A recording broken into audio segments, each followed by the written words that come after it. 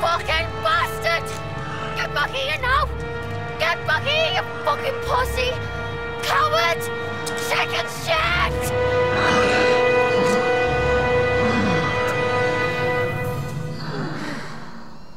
What are you looking at, you ugly fuck? Oh,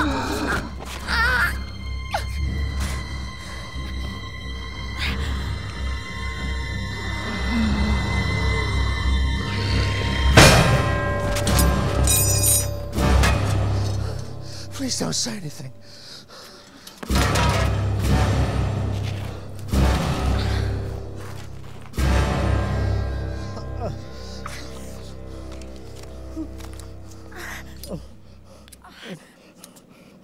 This is the worst night of my life.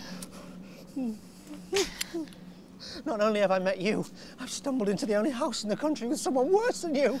Shut up for fuck's sake. I saved you. Well, that's your fault, pussy. Please, Peter. Please. I need you.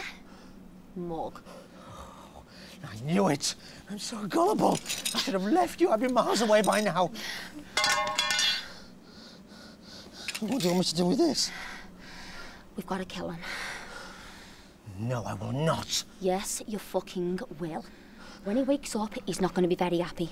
We've got to kill him now before he comes round. I can't. I don't know what to do. Just stick it in him, you fucking weed.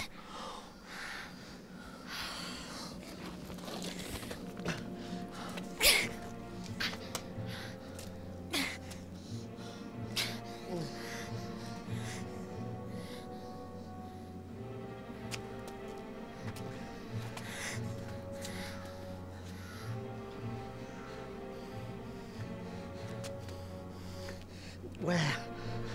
In his head.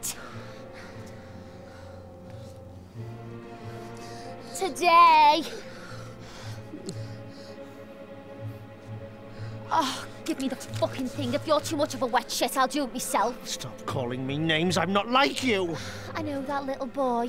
Not a little boy. I'm probably twice your age just because I can't murder or kill. Oh!